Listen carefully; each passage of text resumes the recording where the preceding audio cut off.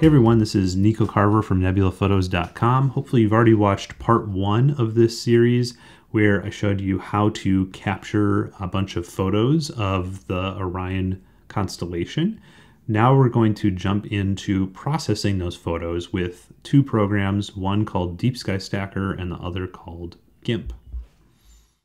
If you're following along with me, you can download these from uh, Google Drive and uh, just follow along with my example files here. Or if you're doing it on your own, I would recommend organizing your files into these four folders so you have them all ready to go uh, for the next step here, which is we're going to use Deep Sky Stacker to calibrate the lights with the flats, darks, and bias files. And then we're going to register those lights, which means uh, match them based on the star patterns um, so that they're all lined up, and then stack them into one complete image that has all of that data uh, combined together.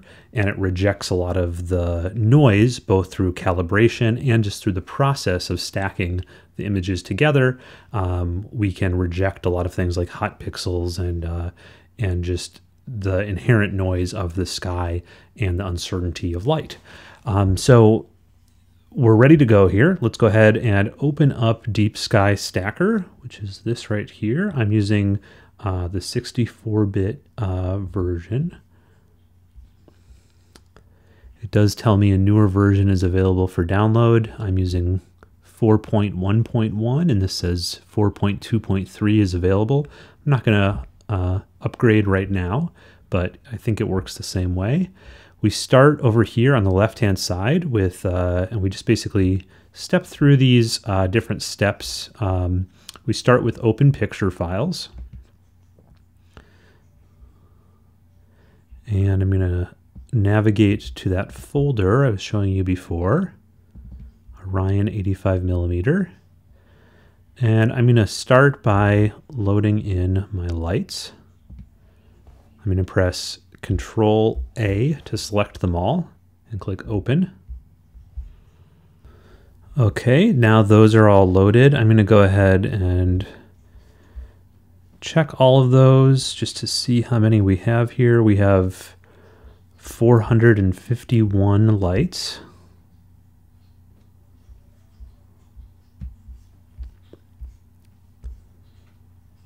I'm now going to go up here, back up to where it says registering and stacking, and choose dark files. Go into my darks folder here. Again, click once, and then press Control A to select them all, and then click Open. Okay, we loaded in 31 dark frames. I'm going to click on Flat Files load in my flats, control A to select all, click open, loaded in 20 flats. I don't have any dark flats this time. I'm going to use bias. So I click on bias files, open up my bias folder, press control A to select everything and click open. And we loaded in 60 bias frames. Okay, so we now have everything we need here, lights, darks, flats, and bias. The next thing I'm going to do is I'm going to click on this register checked pictures uh, link right here.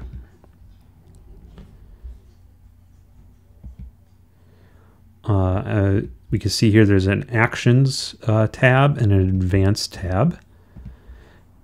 It says dark flats and bias checked. That's good. Uh, I'm going to leave automatic uh, detection of hot pixels checked. I'm going to go to the advanced tab and I'm going to compute the number of detected stars here.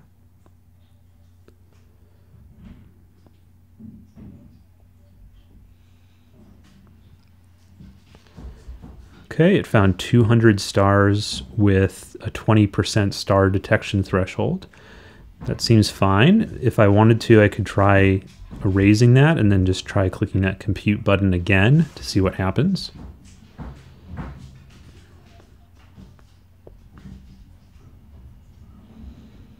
Okay, when I raise the star detection threshold, that number of stars goes down. If I lower that star detection threshold, like let's say to, I'll try 15%,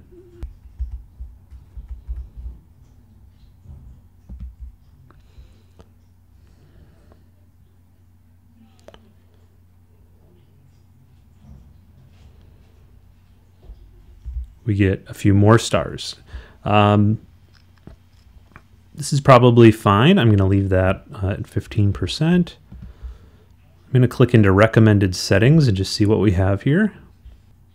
It's uh, saying that we're, we're using Sigma clipping combination method and Sig Sigma clipping median for the other calibration frames. That all seems fine. Basically, if uh, this recommended settings thing found any problems, instead of showing in green, it might show things in red to fix certain things, but this all looks good. Um, we can click on stacking parameters here and just see what it's doing. So it's doing a median kappa sigma clipping. You can hover over these different uh, stacking modes to find out what they do. Um, this all looks fine. I'm going to click OK. And I'm going to click OK again. And it will start um, creating all of our master uh, calibration frames. It starts with the bias, then goes on to creating the master flats and the master dark and everything else. And then it will go ahead and calibrate everything um, and register those checked pictures together.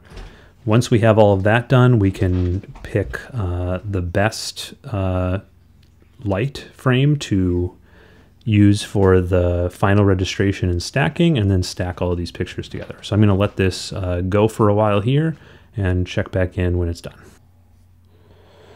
Okay, it's now done. I'm going to go ahead and um, sort these by score. And you can see the top score here is 1,862. So that means that this um, has been, uh, when Deep Sky Stacker looked at all the different lights, it found that this one had the roundest and uh, um, tightest stars in terms of focus. So I'm going to go ahead and choose that one as the reference frame. I'm going to right click on it and choose use as reference frame. We now get this little asterisk right there. I'm then going to go over here to stack checked pictures, which is the next uh, thing down.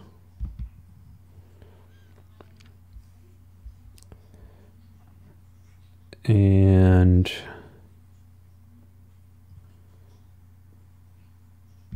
it looks like I didn't take my bias frames It is the same ISO as my darks and flats and lights. So That's not good, but um, oh well, it's too late now. Um, probably work out fine. Um, can see the total exposure here is about 15 minutes because we took 450 frames at two seconds each at ISO 1600. Um, I don't want custom rectangle. What is that? Just want standard mode.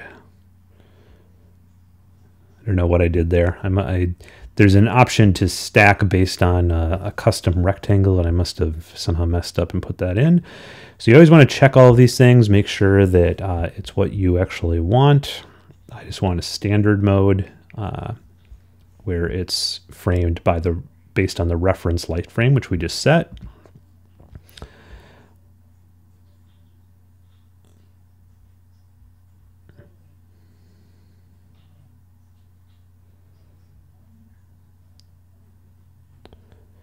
I'll use kappa sigma clipping, that's fine. All these other things are fine. Let's click OK. I'm just going to click on recommended settings and just check through here. Looks good. Okay, one thing to keep in mind when stacking a lot of um, DSLR frames like this, 450, is that it can temporarily use up a lot of space on your uh, main hard drive. Um, this is just because it uses a temp folder while it's doing this work. So you can see that this is going to use 62 gigabytes of my 80 gigabytes free on the C drive. Um, so that's just something to keep in mind. Uh, you might need a fairly uh, large amount of free space in order to stack a lot of frames at once like we're doing here. Uh, but I seem to have it now, so let's go ahead and click OK and let it do its thing of stacking these all together.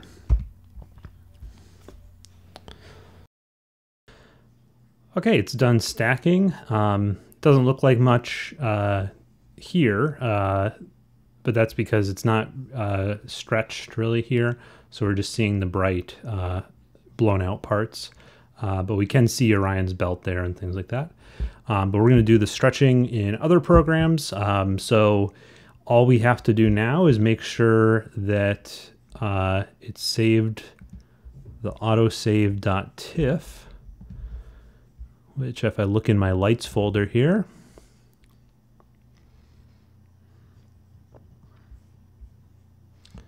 scroll to the bottom, there it is, autosave.tiff.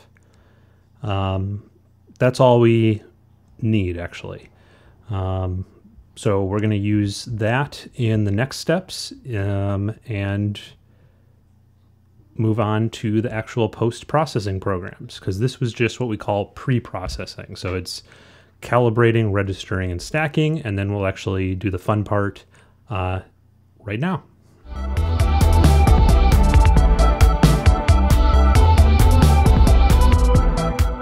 All right, now that we have our images calibrated, registered, and stacked using Deep Sky Stacker, we're going to move on to post-processing the image that came out of Deep Sky Stacker, which is this autosave.tiff in GIMP, which stands for GNU Image Manipulation Program. Um, it is a free and open source project. It's been around for a while. Um, it's a similar kind of program to Photoshop, but the main advantage is that it doesn't cost any uh, money and also being open source, you can contribute to it or fork it and make your own project. Um, I downloaded the latest version of it at the time of this recording, which was 2.10.14, and it's April 4th, 2020. So let's open up the program.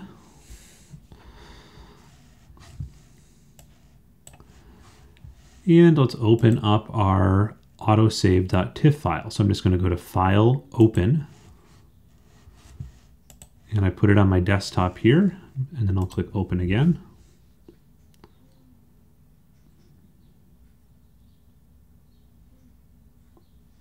Okay, and it doesn't look like uh, much right away. Um, this is because uh, it's not yet stretched. And what we mean by stretch is we're going to um, transform the the values in the picture, um, applying sort of a curve that that takes it from this linear state uh, to a completely nonlinear state where we stretch out the histogram. Um, typically, this is done if you uh, just shoot JPEG in the camera with something that's built into the camera that converts the raw picture values to a pleasing picture with a curve. Um, so before we apply that first curve though, let's go ahead and duplicate our layer. Um, you can do this by just going over here to the layers panel on the right hand side, right clicking and choosing duplicate layer. And I'm also going to rename that layer.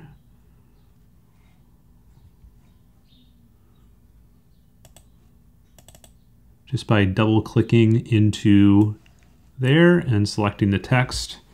I'm going to call this first stretch. Okay. Um,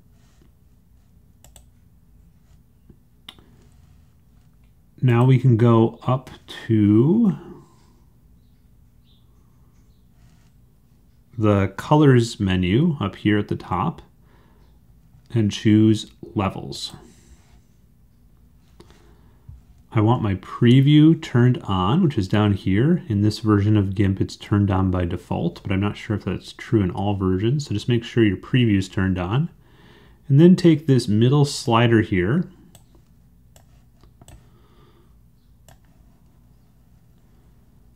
and push it over. The image will become sort of gray, that's normal, and just click OK. And I'm going to repeat that process. I'm going to go back to colors, levels. But now what you can see is we can now see this uh, histogram bump right here. This is most of the information in the picture.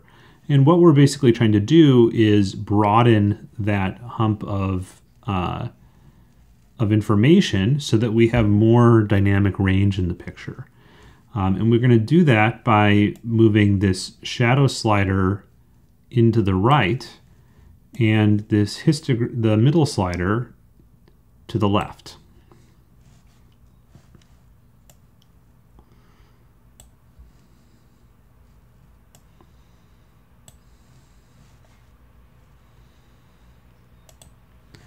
And we're going to have to probably do this a few times to get to where we want it.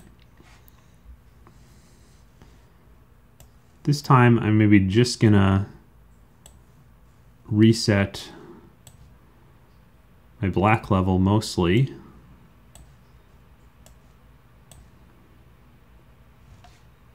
Something like that.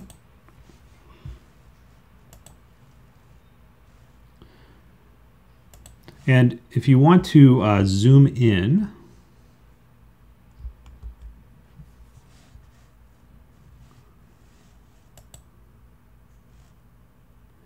um, you can either use the view menu and there's some zoom options right there, or you can just use the keyboard shortcuts, which are plus and minus. So if I just press um, plus, which is actually you have to hold down the shift key and hit the plus equals button.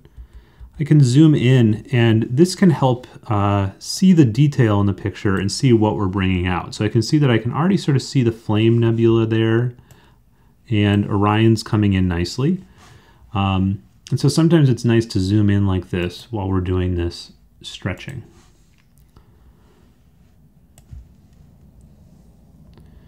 And if I move the black point slider all the way sort of over right to the edge of where this histogram bump is right now, I can take a look at what we can see. And I know that we should be able to bring out the horse head a little bit better than that. So I'm gonna, I'm gonna bring my uh, midpoint slider over again. And we're gonna keep doing this a few more times. I can sort of see it coming in now. You can see now the, the histogram um, mountain here is getting really quite spread out, which is what we, what we want to see.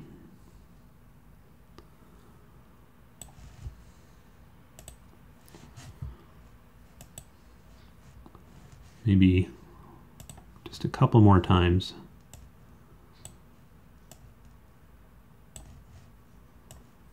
Whoop, messed something up there cancel that one.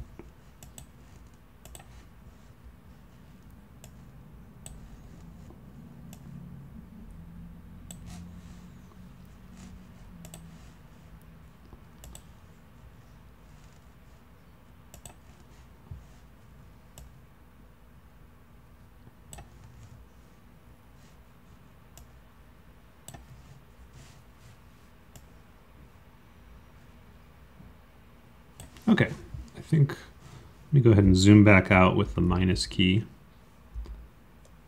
Yeah, okay. This is, I think, at a good point. Um, this is going to be my final stretch for now.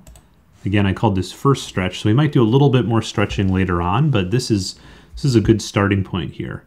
Um, the first thing that we can see is that we've now brought out the Orion Nebula um, quite well. We can see both the core and the outer edge of it here. This right above it is called the Running Man Nebula. Um, and Oops, what did I just do? I guess I clicked on that accidentally. Um, and then up here we have the Horsehead. Let me try to zoom in on that a bit. Right in there, and the Flame Nebula.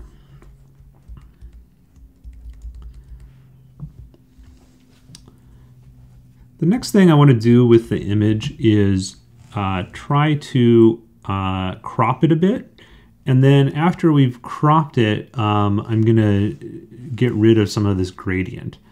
Um, all of the interesting stuff in this image is right here in the Orion constellation.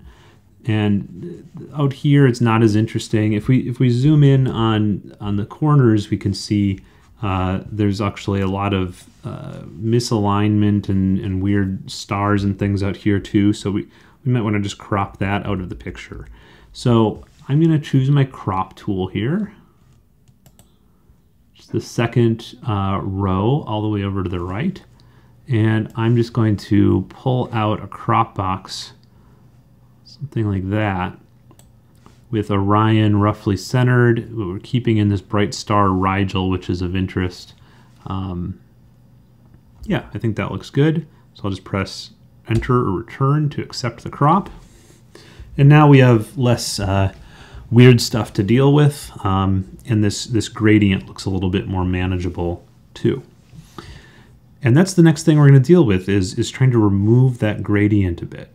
So I'm going to actually duplicate um, this first stretch layer twice. I'm going to call this one, no, actually I'll just duplicate it once for now. And we'll call this um, BG Newt for background neutralization.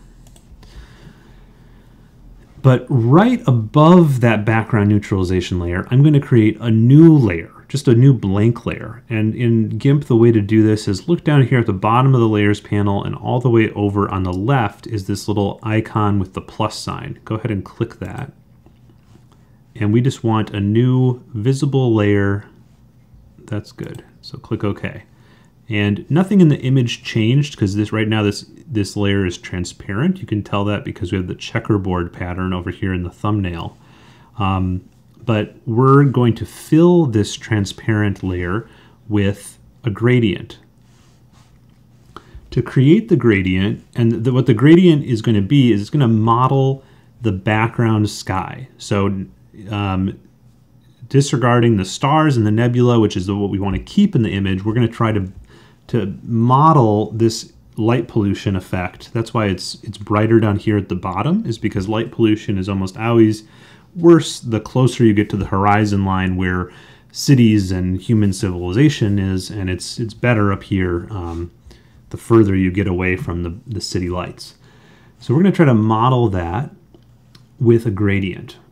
To do so, I'm going to pick my color picker which my color picker tool, sorry. So if I look over here in the tool set, in the second row, uh, second from the left is my color picker.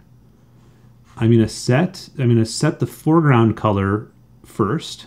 Um, so for the foreground color, I'm gonna pick something up here at the top.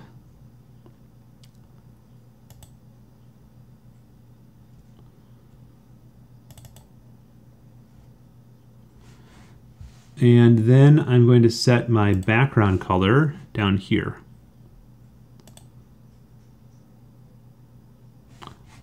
Oh, I know what I did wrong. Sorry. Let's try that again. So I'm going to first click on my background neutralization layer over here. So that's what we're going to be sampling on. And then with my color picker, I'm going to first click up here. And you want to be, be sure that you're not clicking on a star. So if you accidentally click on a star, you're going to get a weird result. See what it did to my foreground color there? It made it this sort of pinkish color. What I want to be clicking on is the background sky. And so see there, again, I think I clicked partly on a star and that's why we get that bright pink there. So just click around until you get this sort of um, sky looking value. Then we're going to do the same thing for the background color, so over here in the color picker options, I'm going to choose set background color over here on the left. And then I'm going to go down here to this corner, which I think is the brightest corner, and I'm going to choose a sky value down there. I'll just click around a little bit till I see one that looks nice and bright. That looks pretty good. Okay, and then we're going to uh, draw out a gradient using this foreground and background color. So let's choose our gradient tool here, which is this one. You can also get to it by just pressing G for gradient if you uh, are new to GIMP, and this is like, you know, you just started up just like me, then your gradient will be in its, your gradient tool will be in its default state. And in its default state, it just picks the foreground and background color to create the gradient here. If yours doesn't look, doesn't do that uh, for some reason, then just click on the um, swatch here, the gradient swatch, and choose custom. And then what it should do is do a foreground to background RGB gradient. Um, but you want it to basically look like this. We want a linear shape, we want foreground to background, and we want it to be a custom gradient. Um, and then we're just going to draw a line from the foreground to the background in the image. And what I mean by that is from the top of the image to the bottom, because that's how we picked those two colors. So I'm going to just do it from where I picked that color, which was up here in the upper left of the image, down to the lower right. And when I look at that, um, my gut reaction is that's not quite right, but let's just go ahead and turn, oh, I should have, let me undo. One thing I should have mentioned here is we wanted to be doing this actually on the blank layer right here. Let me just actually call this gradient so I remember. Okay, so make sure you have the gradient blank layer selected. And when I just did that, I noticed that uh, it didn't look quite right, that there was a little bit too much blue over here. Well, actually, this is a fairly up and down gradient. So I'm actually thinking that blue isn't quite right. Let's try uh, actually switching out our color samples and picking one more in the middle here. Yeah, it's a little bit darker and a little bit more in the middle here. Oops.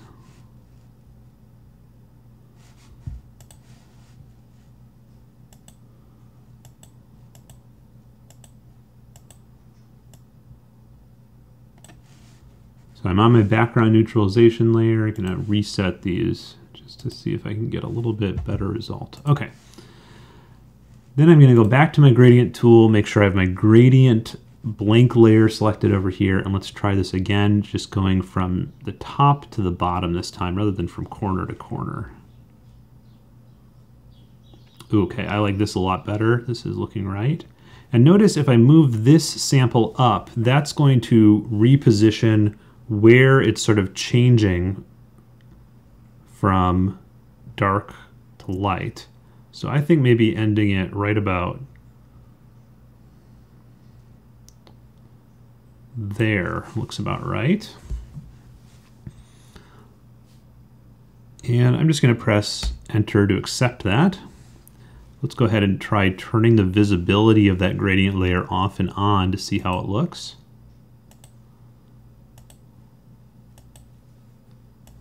Think that looks pretty good. Um, next, what we're going to do is we want to subtract this gradient from the layer below. The way to do that is we're going to change its imaging or its layer mode. Um, so right here in the layers panel, we have mode, and right now it's set to normal, meaning that whatever is on top here in the layers panel is what's showing. But we're going to change it to subtract which is down here, not quite at the bottom, but Oops. There we go. Okay, so you can see this made a really dramatic change uh, to the image. It looks immediately a lot uh, more dramatic because the sky background is now dark because we subtracted out that light pollution um, through this gradient removal process. If I turn it off and on, uh, there's before and there's after. Before, after. And really, this is probably going to be the most important thing I show you in this GIMP tutorial. The, really just what we've done so far, the stretching and the, the gradient removal. Everything from here on out is really um, more optional, I'd say. Um, if we zoom in now, we can see that everything already looks pretty nice. Uh, I think the star colors look pretty good. The you can see the horse head and the flame and the Orion and Running Man here. Down here, got the bright star Rigel. If I'm looking here at the at the very bottom of the image, you can see that we still have a bit of residual um, brightening, and it's sort of uh, greenish looking, maybe greenish yellow looking. Same thing over here on the left-hand side if you just decided, you know, there's nothing really that important to me in the image on those on the side and the bottom, maybe I would just do some further cropping.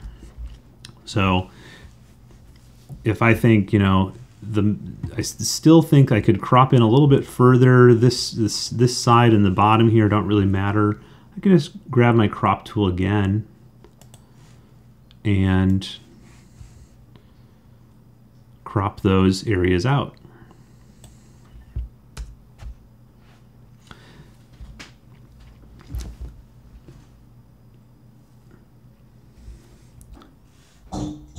Um, I'm going to undo that just to show you another option. If you if you liked the framing, you know, this wider framing better, is we could just apply another uh, background gradient removal. So to do this, let's just uh, first merge this gradient subtraction down into the background newt layer. So to do that, just with the gradient layer selected, go up to Layer and choose Merge Down. What that means is it's going to combine it with the layer below it. Just like that. So now we've, we've made that, that decision permanent. Um, we could undo, of course, but we've basically combined those two layers. Let's now go ahead and duplicate the background neutralization layer and call this, um, I don't know, BG Newt 2. And I'm just going to repeat the process. So I'd make, I'd make a new layer, click on BG Newt 2, pick my color samples, and this time I'm going to try to get rid of uh, this brightening over here in this corner. So I'm going to pick my color picker tool. I'm just going to go from out here for my foreground.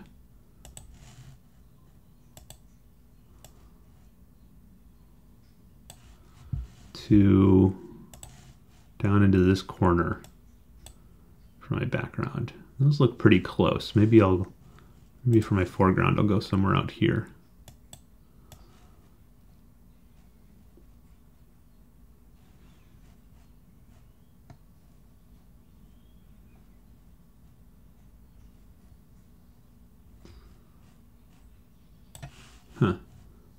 If that little uh, pink means something different than I think. Maybe it just means this is black. I don't know. Okay, let's try that. So grab our gradient tool, go up here to the blank layer, and let's just draw a gradient down into this corner. Yeah, that looks cool. So it's basically saying out here, don't really do anything. Down here, let's subtract some of this uh, greenish crap. Okay, I'm to press enter to accept that gradient, and then I'm going to change this to subtract mode.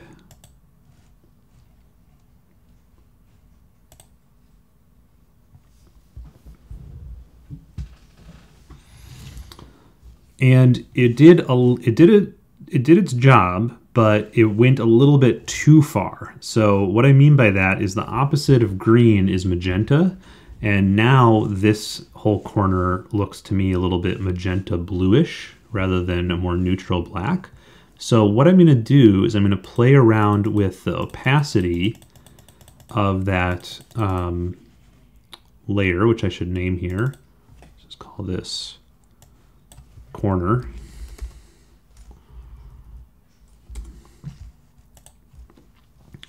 Until this is looking more neutral.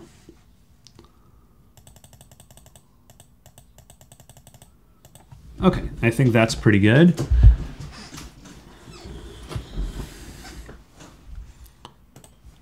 So I'll go ahead and just uh, merge that layer down into BG Newt 2. So layer merge down. And then we can turn that layer off and on and see what it did. Before, fairly extreme green cast over there. After. Still a little bit of a color cast. I'd say it's, it's a little bit more of like a bluish magenta now.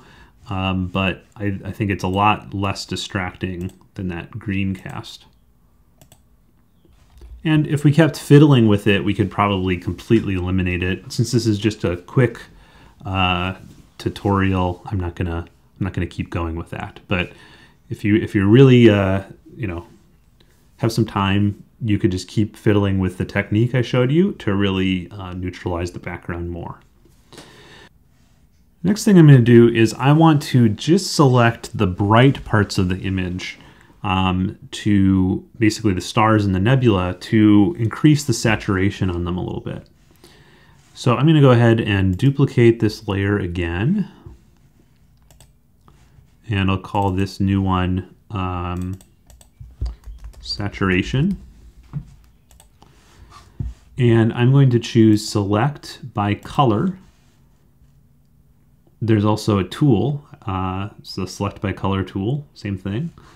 It's the fifth tool over. Here's the tool's options right here. I'm going to choose to feather the edges, uh, but just by, let's say, one pixel. And where it says select by composite, I'm going to choose select by lightness because we just, we don't really um, care about picking a particular color. We just want everything that is bright in the picture. And then I'll just click on something bright in the picture. I'm just going to click on Orion Nebula here. And you can see that then it made an initial selection of many of the stars and the bright parts of the nebula. But you can see it's not yet picking up on uh, some of the dimmer nebula. So I'm going to raise the threshold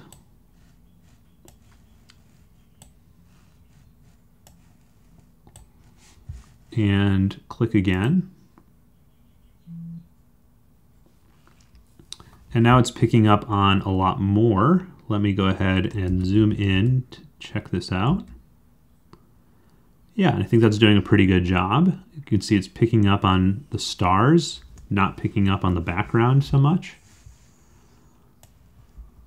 see how it's doing on these nebula. Pretty good.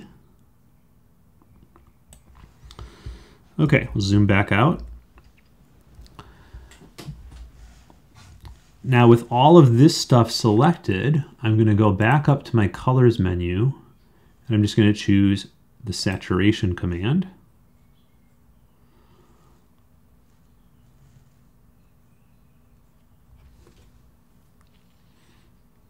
And I'll increase the scale here.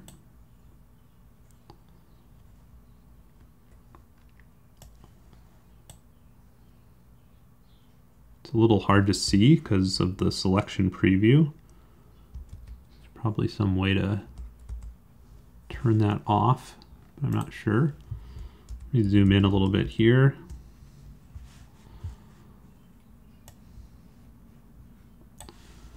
Okay, let's just try turning the preview off and on.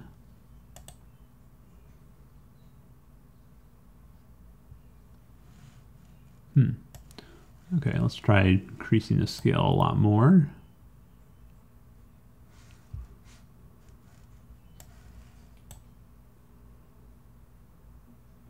I guess I can see it starting to work. Um,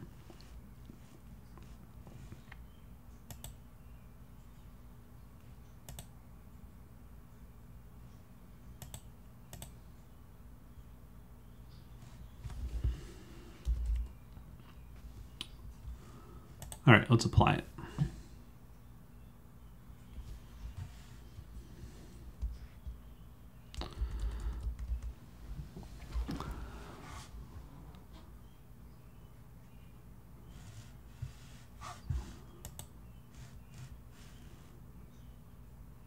Okay, here's where we can turn off show, show selection. Let me go ahead and turn that off a second. And I'm going to turn my saturation layer off and on to see what it did. There's with it off. There's with it on.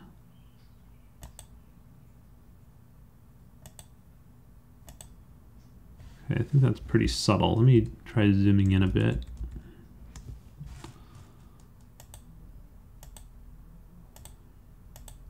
I can definitely see a difference, but it's it's uh pretty subtle.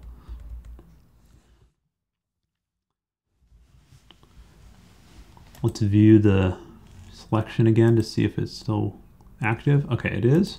So I'm going to turn the selection off and let's go back to colors. This time I'm going to try hue saturation and let's just see if this one is a little easier to see the difference. Yeah, I think that one is working a little better. So let's try turning the preview off and on on that.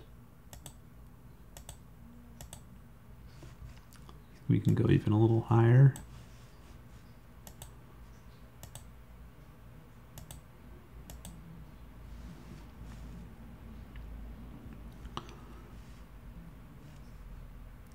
Um, another thing we could play around with here is the lightness. Let's see if we make the the light part's lighter.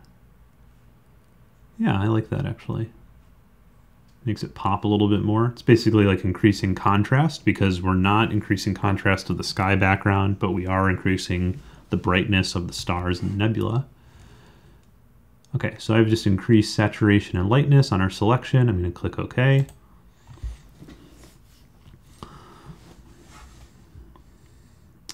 And you know what? I'm pretty much happy with this. Uh, I'm not going to do much more with it uh, at the moment because I think it looks pretty good. Um, there probably is, you know, other things we could do, um, but I, I like how this looks. So let's go ahead and save it. Um, if you if you think you're going to come back to it in GIMP, you just want to choose File, Save, and save it in the XCF format. Call it Orion here. Okay, but if you're saving it as anything else, then you'll go to File, Export, and by default, um, GIMP exports in PNG, which is a, a good choice. It's um, it's doesn't lose much information uh, that way. Um, there's a bunch of little things you can choose, but you don't need to. Just click export.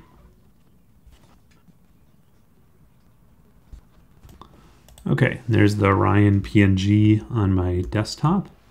The one downside to the PNG format is because it is uh, fairly uh, lossless, meaning it's not losing much information. The file sizes are quite big, so this is 43 megabytes.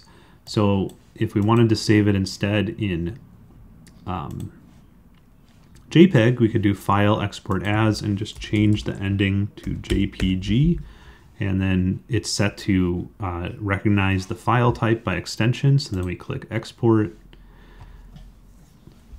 and it gives us a different set of options here. Um, instead, we have this little quality thing that's going to be how much it compresses the image.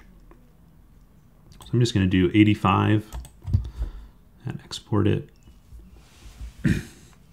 and because JPEG is a lossy format, that got it down to 4.3 megabytes. Um, but I think it will still be of perfectly acceptable quality. Let's go ahead and make that full screen. Okay, and there's our final result. Um,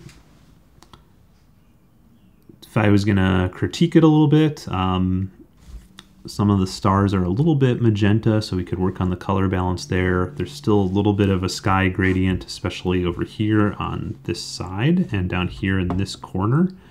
Um, but other than that, I'm pretty pleased with this, considering it is just an untracked, um, simple shot of the Orion constellation.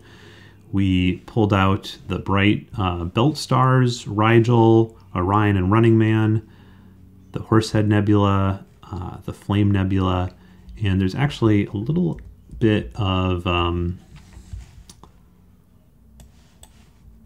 another one up here. This little guy up here is M78. Um, just a nice little reflection nebula up there.